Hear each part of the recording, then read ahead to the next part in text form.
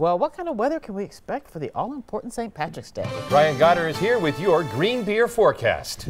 Good evening to all of you. It's all important green beer forecast. uh, this afternoon, wow, not a bad day. The wind was light, the sun's out, and temperatures in the mid to upper 30s never felt so good. Uh, melting quite a bit of snow out there once again. You can actually see more grass uh, starting to pop through at Rotary Park there in Port Washington. A southeast breeze between 5 and 15 miles per hour. The temperature, 35 degrees. It's well below normal. Normal now is about 42, 43 degrees. But once again, that sun is out and doing its job, melting that snow. We're going to be losing that sunshine, though, later this evening. Obviously, the sun's going to set, but also the clouds are going to be moving in. And you can see some precipitation in the form of rain. There's a little bit of sleet and there's some snow out towards the Twin Cities and moving into La Crosse as well. The future forecast will show you those clouds moving in. And then after midnight tonight, we'll get that wintry mix, maybe about a half inch of snow initially as temperatures will be down around that freezing mark. And then as temperatures start to warm up a little bit overnight, we'll see some sleet. And then there's even a potential for a little bit of freezing rain.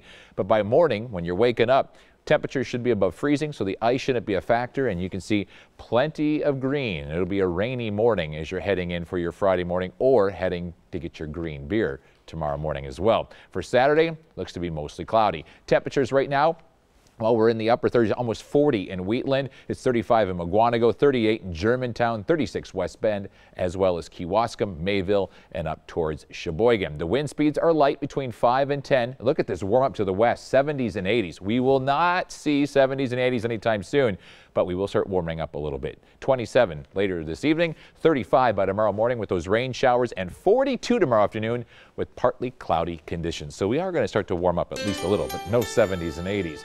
Uh, uh, 44 tomorrow, 40 on Saturday with a morning flurry, 46 on Sunday, Monday 50 and rainy, so we're going to get a 50 at least, and then start to cool down once again next week. The March roller coaster. It felt good out there today, though. It did. It really did. Thanks, Brian.